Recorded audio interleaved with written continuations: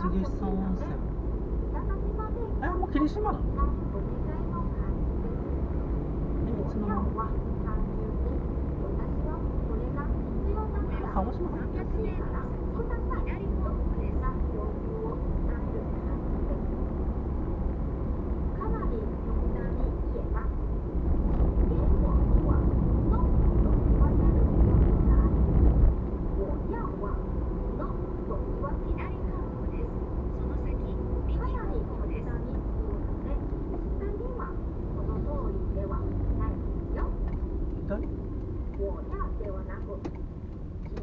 と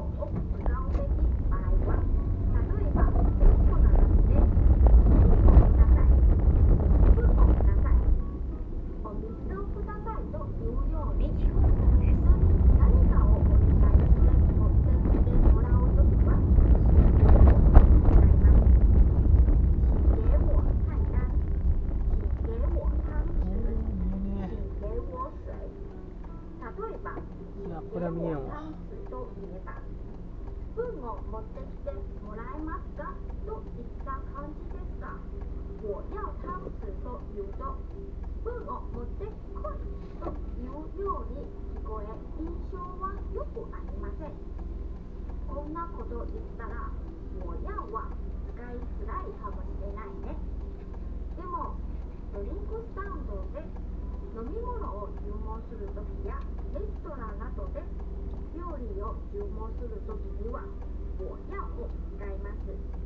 我要珍珠奶茶我要小笼包と注文します。基本的に注文や買い物のときには我要を使って人にお願いして何かをもらうときには請给我を使いましょう。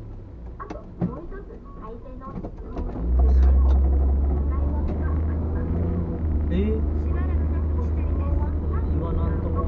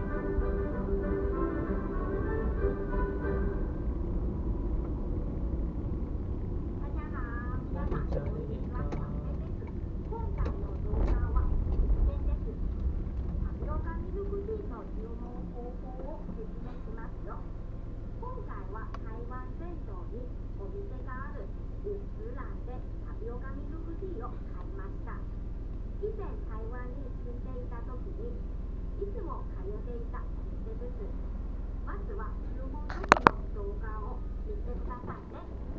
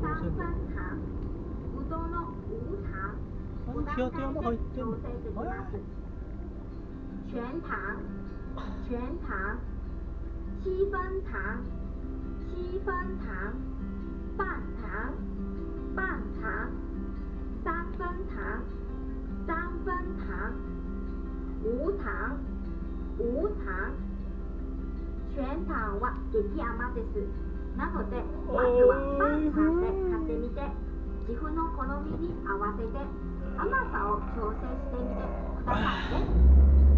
次氷の量です。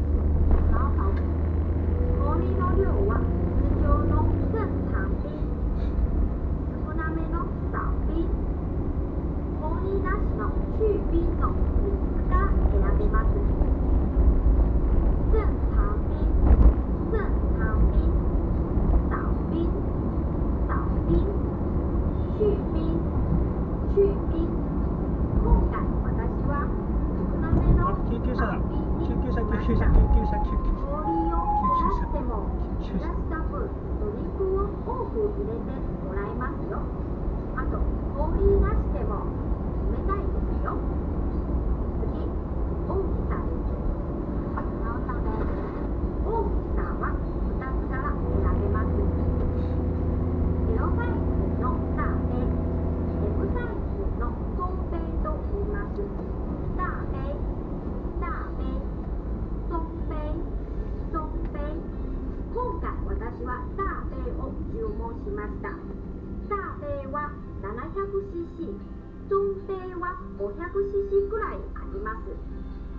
最後に袋が必要が言います。直し要袋私は需要袋子と言いました。これは袋をくださいという意味です。我要袋子と同じ意味です。タピオカミルクティーは小さい方のサイズでも大きいし重たいので飲みながら観光するのであれば袋があった方が便利ですよ。いらない場合は不要袋子と言いましょうね。袋が欲しい場合は我要袋子我要袋子もしくは需要袋子需要袋子いらない場合は不要袋子不要袋子た注文時の動画を初めから押してみましょう。